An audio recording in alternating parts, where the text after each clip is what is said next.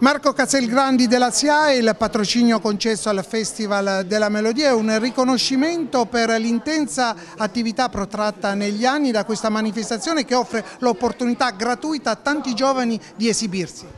Proprio così, eh, SIAE dà il proprio patrocinio a molti eventi eh, di importanza nazionale, non lo dà a tutti perché il nostro ufficio promozione culturale fa un'istruttoria, valuta l'importanza della manifestazione, la qualità, eh, anche la storia del, della manifestazione stessa, nonché la serietà degli organizzatori con particolare riferimento al rispetto della proprietà intellettuale, al rispetto del diritto d'autore che è molto importante per chi organizza festival soprattutto soprattutto musicali e questi sono tutti requisiti ben presenti nel Festival della Melodia per cui sono molto contento che ci sia stato questo riconoscimento eh, nei confronti di, di questa importante manifestazione abruzzese. Nel Festival della Melodia in passato hanno cantato e si sono esibiti artisti di caratura internazionale come Piero Mazzocchetti, Giodi Tonno, Gianluca Ginoble. Ecco, lei ha visto questa sera che è stato in giuria qualche giovane in grado di ripercorrere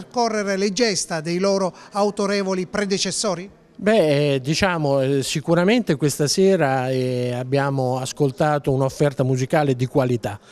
Questi sono palchi molto importanti perché consentono, come ha detto la vincitrice, ai giovani di farsi le ossa, non esistono soli talent, per cui la, la funzione di festival come questi, che poi il Festival della Melodia, ricordiamolo, è un festival itinerante, per cui contribuisce anche a valorizzare il territorio, è una funzione eh, ancora più importante, sono per i giovani importantissime occasioni. Anche chi ha talento ha bisogno di occasioni per poterlo eh, dimostrare, il talento che possiede. Insomma, oggi si è divertito? Sì, mi sono divertito e poi è sempre un piacere poter eh, ascoltare la musica dal vivo in una sala concerti o in un teatro.